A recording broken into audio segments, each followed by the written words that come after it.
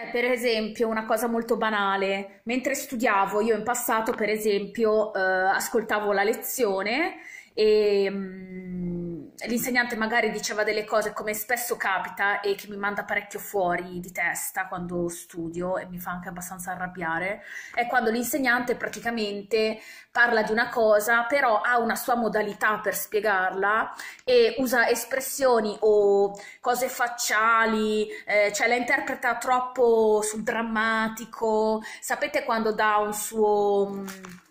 diciamo, voglio chiamarlo contributo eh, emotivo, un suo contributo emotivo personale. Non so se avete presente, quando vi dicono una cosa, però eh, ve la dicono con tutte le facce, con- ridi- ridicendo le cose 200 volte per farle capire sotto diverse prospettive. Praticamente questo è un atteggiamento che alla fine non mi fa capire un cazzo. Cioè, eh, se me, se me lo dicevi in modo fluido e deciso e chiaro, io lo capivo. Essendo che continui a ridire le cose con tutte ste facce, tutte sti- tutte ste risatine che certi, non so, fanno tipo la- gli attori mentre spiegano le cose, mi fa abbastanza incazzare perché io sto perdendo il contenuto di quello che mi vuoi dire, cioè io non capisco più niente.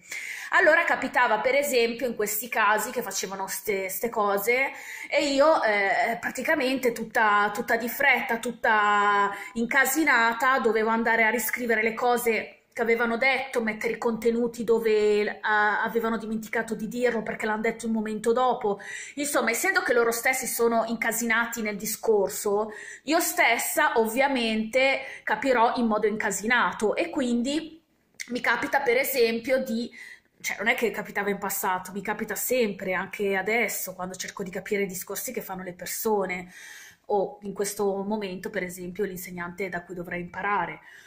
E, e quindi praticamente venivano fuori tipo croce- ehm, gli asterischi, perché a quel punto io dovevo vedere il punto B, il punto C. Ecco, questo è un po' un casino, perché? Presa dal- da, da quella cosa dell'ansia di dover capire il concetto o comunque di terminare quel discorso, io lasciavo tutto, tutto sto malloppo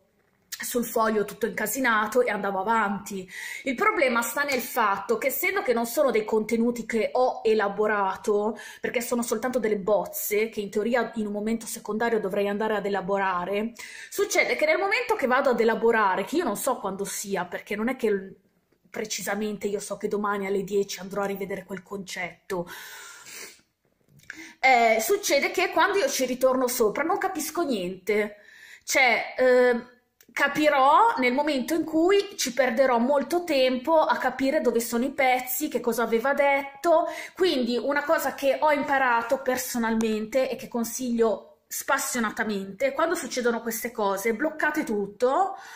e ci perdete piuttosto due secondi in quel momento e sistemate tutte le bozze in ordine, in modo che il il- la volta successiva, quando dovete ritornare sui concetti,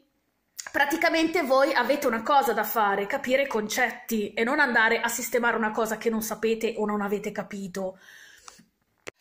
Praticamente per capire la cosa velocemente, eh, dovete ritrovarvi sempre con solo una cosa da fare.